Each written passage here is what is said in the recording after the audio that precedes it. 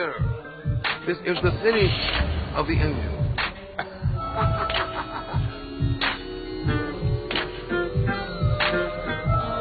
Somebody that's in my city, you know.